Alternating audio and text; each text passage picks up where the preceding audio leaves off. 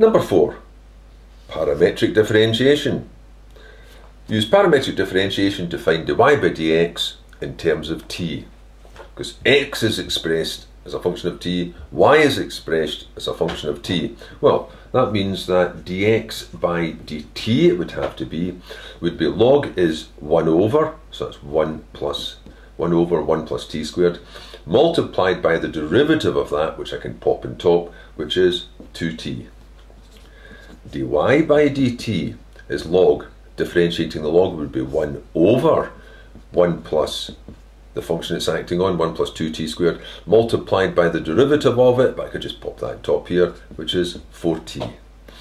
Then, if I want dy by dx, then I could say, well, I've got dy by dt, so multiplying that by dt by dx will give me dy by dx. So dy by dt, 4t over 1 plus 2t squared, dt by dx was something like that reversed. That would be the reciprocal of it. So 1 plus t squared over 2t. So I've got dy by dx will be, that will cancel out leaving a 2 on top, 2 times 1 plus t squared over 1 plus 2t squared.